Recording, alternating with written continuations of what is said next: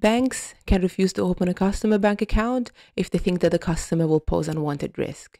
This has profound effect on the life of the customers that are rejected because having a bank account is fundamental to participate in modern life. Hi, my name is Giulia. I'm an anti-money laundering specialist and today I'm talking about bank de-risking. Bank de-risking or debanking is the process under which banks and other financial institutions reduce their exposures to customers that they consider as high risk for financial crimes and other regulatory non-compliance. Bank de-risking has gained prominence since the rise of anti-money laundering and counter-financing of terrorism standards, also called AML standards. New Zealand has been complying with the AML standards since the coming into force of the AML Act in 2013, which is based on the principle of risk-based approach. This means that bank and other reporting entity are expected to assess their own risk in terms of money laundering and financing of terrorism and put in place measures to mitigate those risks. The risk-based approach does not mean that high-risk customers need to be avoided.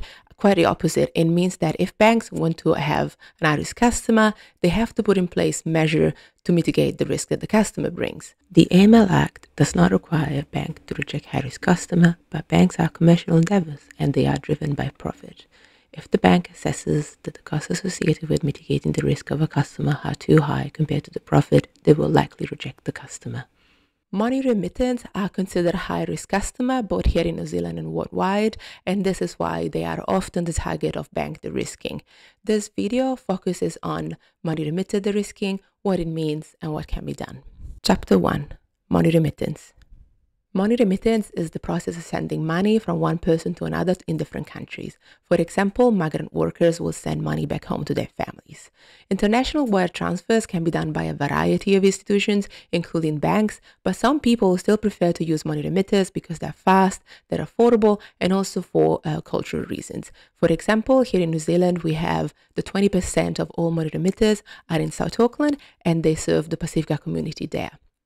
Because of the global reach, money remitters are vulnerable to money laundering, and this is why they are the target of de-risking. And even though it's understandable that banks want to be prudent when it comes to money remittance and when it comes to high-risk customer, it's also true that people still want to use money remitted service. And because of that, some money remitters have resolved to use personal bank accounts, to open bank account without declaring the real use of the bank account, and also to use Hawala transfer of funds.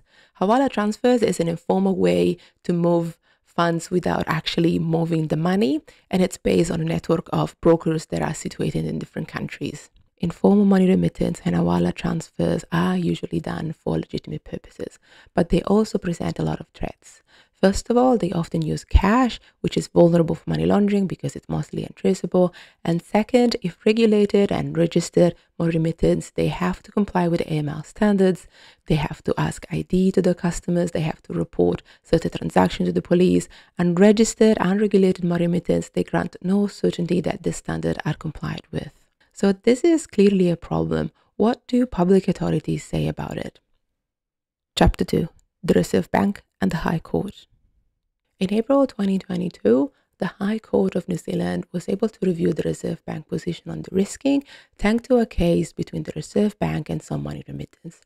The money remitters said that they have been denied bank accounts from banks because of their overly zealous views on AML obligations.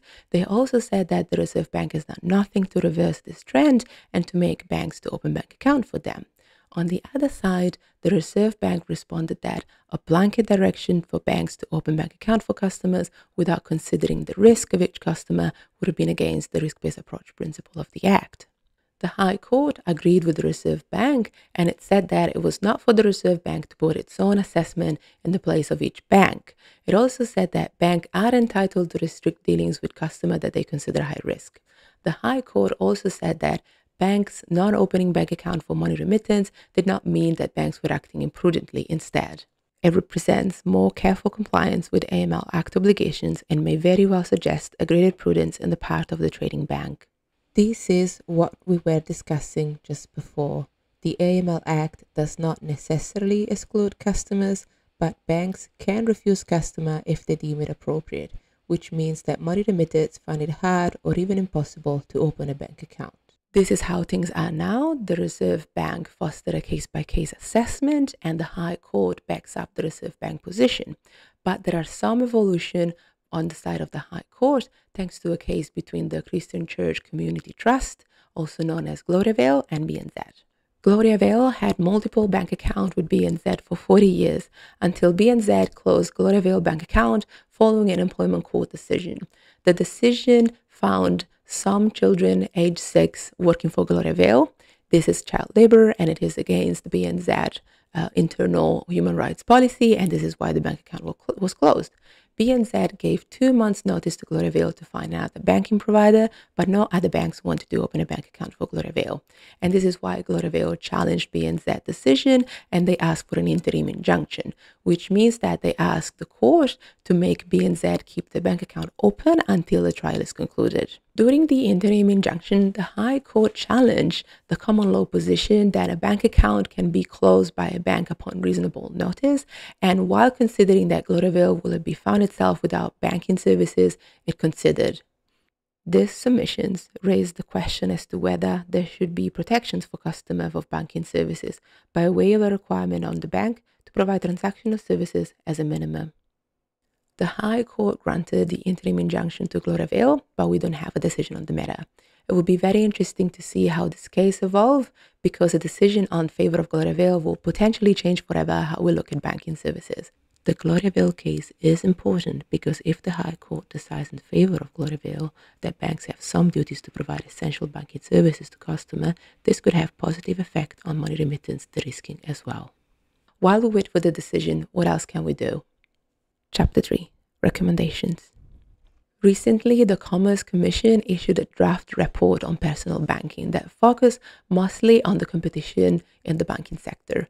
One of the recommendations of the draft report is that banks allow for essential services, which means at least a bank account where a customer can send and receive money. The draft recommendation is in line with the interim injunction, but at this point, it looks like the recommendation mostly focuses on personal banking, which means individual, people customer rather than companies uh, like a remittance will be. This is why I think it will be interesting to look at what our neighbors are doing. In Australia, the Council of Financial Regulator issued some guidance, some recommendation to the government on how to deal with de-risking. The recommendations span from getting more data to issuing some targeted guidance to its affected sector, and in particular, two recommendations will be key to New Zealand. The first recommendation regards transparency and fairness, and it asked banks to give the bank customer a reason, an explanation of why they've been debanked, and to let them know that they have access to internal dispute resolution. Both of these measures will give money remitters the chance to understand what they can do better, and they'll also give them a chance to ask for a second review. The second recommendation regards capability uplift, which in practice calls upon the government to invest on specific and targeted education on the affected sector. Knowledge is power, and with more knowledge, money remitters will be able to better communicate with banks and they will be able to show them that they are compliant and safe. Chapter 4 Conclusions Money remitters have an important role in society. They serve a wide array of customers, including vulnerable communities that rely on their services. When money remitters are denied essential banking services, they will use alternative and more risky ways to transfer money. The Reserve Bank fosters a case by case decision when it comes to high risk customer. And even though the prudent approach of banks is understandable and it's compliant with the Act, it also means that often money remitters are denied essential banking services. Currently, the High Court seems to support the Reserve Bank position, but things may change soon, both at the High Court and at the Commerce Commission. To achieve a more secure and more equitable financial system, we need banks policymakers and customers affected by de-risking to come together and formulate solutions. These solutions, in my opinion, should include enhancing fairness and transparency and investing in targeted education. The importance on training is a nice segue to today's sponsor. The sponsor of this video is me and my consulting business, Total AML. If you are a reporting entity in New Zealand, I created an anti-money laundering online course for you. This microlearning experience allows you to watch the videos at your convenience, covering everything you need to know about AML. The course also includes supplementary reading materials for further insights and engaging case studies to reinforce your understanding. All information is linked below. If you made it till here, thank you so much. Like, comment, subscribe, you know the usual. Let me know what you think about de-risking. My name is Giulia from Total AML. I'll see you next time.